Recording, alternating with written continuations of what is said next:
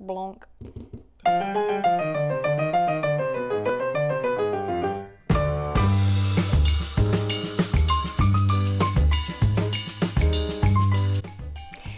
Friends, it's Stephanie from Recipe Archaeology where we love to uncover the wacky and weird and tasty recipes from mid-century and earlier. You will probably notice that I am again alone in my kitchen and that is because Christine is at home um, doing her best to do online school. So it's back to school for us, and that means we are having to social distance even more. Christine is going to be seeing a lot of kids come through her classroom, and my kids are returning to school and interacting with their classmates. So, in an effort to continue doing what we really love to do best and to stay safe and keep our families healthy, we are gonna do our retro recipes just a little bit different than we have in the past. So I am going to make Christine a back to school treat and do a porch drop off. And then we will uh, do a social distance Zoom tea time and try the recipe out together. So today we are in prunes add variety and make you regular. So this cute little pamphlet, which you can see is a, is a little damaged, uh, is from the California prune industry. It is published in 1935 and it's all about promoting prunes in your diet. What I'm going to make today that I thought was a fun fall um, recipe is spiced prune ice cream. see the recipe. I'm going to make this here at home with you and then uh, we'll take it over to Christine. Let's do it. Hey friends! Hi guys! It's Stephanie. And Christine. And we're doing our social distance Zoom time. I'm very excited about this new foray into us distance cooking. I'm yeah. calling it distance cooking, just like distance learning. do you remember this little book? I do. It's super cute. Now, is this the one where we did prune caviar from? Wait, do you remember that? I do not remember prune caviar.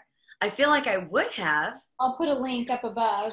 Do you remember the orange jello and prune? The oh. prune stuffed with cream cheese. Remember? I remember that. Yes, remember I that? do. Came, we put it in a cute little orange jello mold. It was very cute. Was that in here? I think so. So today we're doing spiced prune ice cream. Spiced prune ice cream. I saw that and I was like, I, I feel like it seems like a fall treat, but for a hot day, a hot fall day. Like right? It. And I'm assuming that the flavors in this are also fall-esque. Yes, you know, like yes, they are. And yes, let me tell you what we got, and I'll tell you how you make it. I'm very excited about this. How I made it. Okay. So you need a, a can of evaporated milk. I have that. And you scald that, scald okay. it. Yeah. And you need to soften um, a teaspoon of gelatin, plain gelatin, in a tablespoon of water. Okay. Soften Jello. that. Yeah, gelatin. And so once your milk is scalded, then put your gelatin into the milk and dissolve it. So I think you're just wanting to speed up the the um, the process, process. okay. get it to all stick together. Okay. So um, then once that's dissolved you're going to add um, cinnamon nutmeg and clove. Okay i like ground ground cinnamon ground nutmeg ground clove. Yes. Pinch of salt. And then you're going to put that in the fridge to chill and, and just set up just a little bit. Okay okay, okay so yes. and then um, while that's chilling, then you take your two cups of prunes, your cooked prunes, and um, mix it in. Well, it says two cups of cooked prunes. And so I thought rather than just take them directly from the container and plop them into the ice cream, I stewed them a little bit. So I just did, I cut them up, put them on the stove with a little bit of water, and got them nice and soft, super soft. Yeah. Right? Love it. Love it. Okay, so now when everything is chilled, everything's cold, you you take your milk mixture that is slightly uh, set up and you whip it in with with a mixer. Whip it good. Yeah, and you add two tablespoons of brown sugar. That's it. Okay, I like that flavor too. That's Mhm. brown sugar, but two tablespoons. That's it. That's it. Okay. And a teaspoon of vanilla. Because the prune, okay, I love the vanilla in there. The prunes are very sweet. Um, One would think. there's And you- yellow you- involved. Right? And so you whip that until you've got stiff peaks. Or, Okay. you know, till it's, yeah, you've got stiff peaks. Mine were sort of semi stiff. But Okay. whip it until stiff. So you're really whipping on, in a lot of air. So you're right. You are just making kind of a whipped cream. Well, and all of these are pantry staples. Like all of this stuff is Totally. Just like things that are lying around your pantry right now.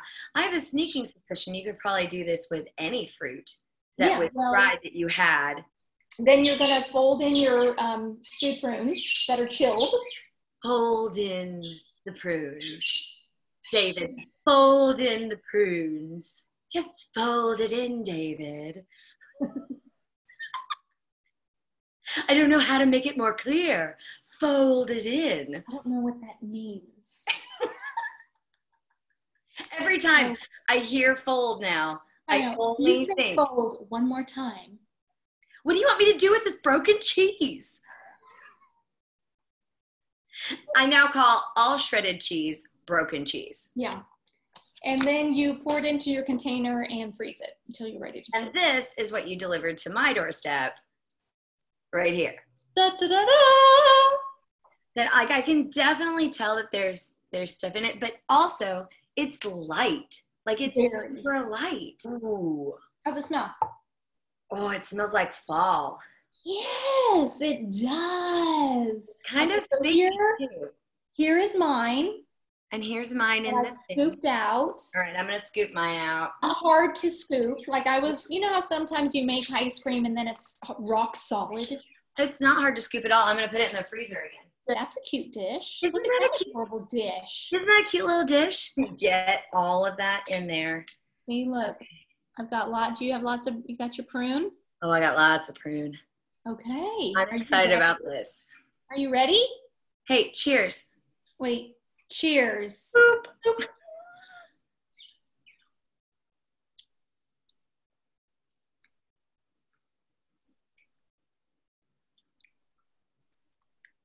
Hmm. Interesting. I don't know what to say. I don't know if it if it tastes like ice cream. It tastes like cold prunes. It does. I think maybe there was Maybe, Maybe- let me get some without such so many prunes. Maybe I had too many prunes in that bite. Here's a bite with just the ice, the cream. It's it's it's a nice texture. Okay, did, get it? Did you get a bite without a big chunk of prune? I did, and it's a really nice light texture. Yes, it's more like a frozen whipped cream. It's not very heavy at all. It's like a spice cake Mm-hmm. with dried fruit in an ice cream. It's You know, yes, and maybe it would be better to. Um, would it be better to blend the prunes up and not have them so chunky? that could be to your taste, right? Like maybe you like a chunky prune ice cream. That's But I fine. like it. I like it better when you're not chewing the prune. I was afraid it wasn't going to be sweet enough, like a sweet ice cream. But you, but it's it's a good sweetness. It's not like it's not like sinfully sweet. But look at that big old chunk of prune right there. You're gonna be regular tonight. Yeah, yeah, I am. I wonder if kids would like. Let's see if Harry likes this. Hey, Harry. Yeah? Are you dressed? Nope. Get spoon, honey. Get spoon. Get spoon. Are you dressed? No. The answer is no. Saturday. He's in his robe. Hi there. Harry, try this. I gave you a bite without the chunky prune. What do you think?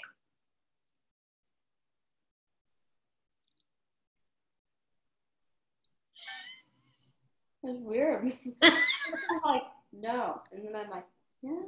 And I'm like, mm. And I'm like, mm. You know what? We'll let's put this recipe down below. I don't think this is a bad thing. I think we can grow from it. But I really like your idea of taking the base and then and changing up the fruit. I mean, what if you put a little maple in there? Oh. I'm gonna I'm gonna take it to another level. What?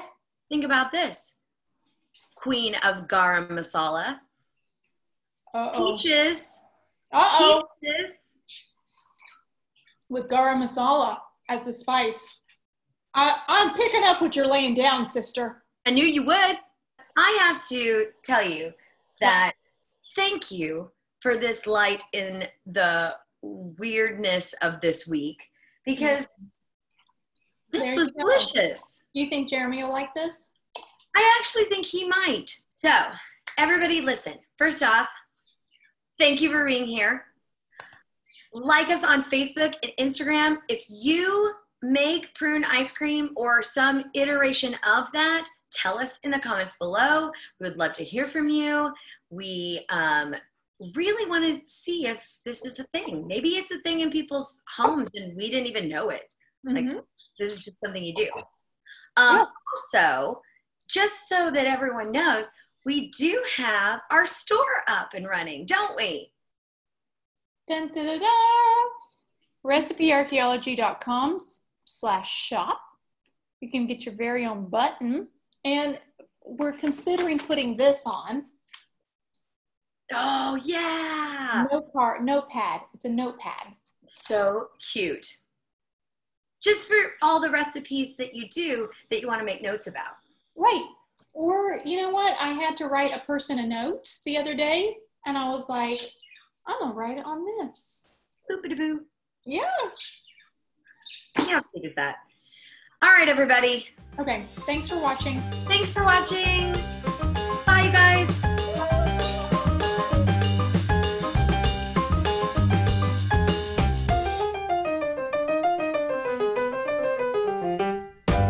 take your your milk mixture that's slightly um for the love What is happening with your bird? they're, they're covered up okay you Bird. take